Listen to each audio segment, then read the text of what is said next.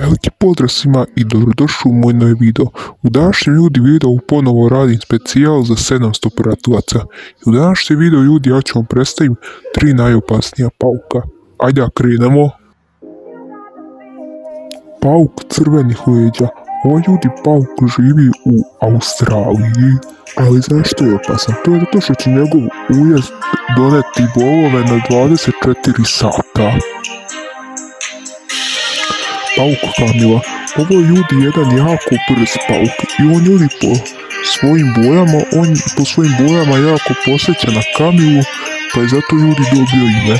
Ovaj ljudi pauk uopće nije otrovan, ali on zato prenosi jak bol kad nekog ujede, kad ujede čoveka, to će jako da ga boli.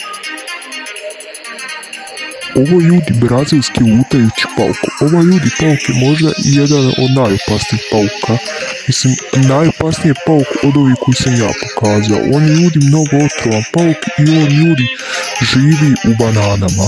U bananama on živi. Tako da ako ljudi jedete banane, pazite da on nije unutra. A drugo ljudi, znači ovako.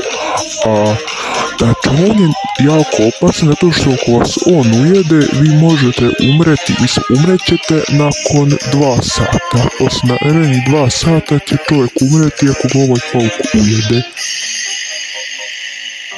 To bi bilo to od ovog videa. Ako vam svi ostavite like i obavezno me zapratite da prijeđemo ljudi 800 pratilaca. Vrijeme je sad ljudi da prijeđemo 800 pratilaca.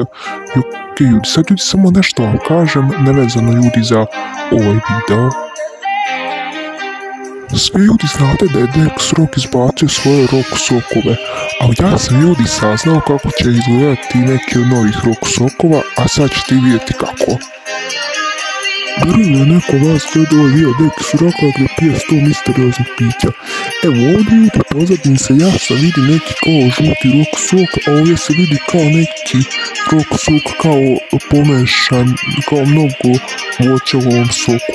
A to znači ćemo možda izbaciti neki od tih sokova, a sad ćemo pokazati još nešto ljudi. Ovo je YouTube video Dex Rocka gdje se on kao takmičio u crtanju. I vidite ljudi sami da je na ovoj slici on kao nacrtao rock sok od jagode i on možda planira kao da izlači taj sok. Tako da je ljudi mislio da će on stvarno nekako baciti taj rock sok.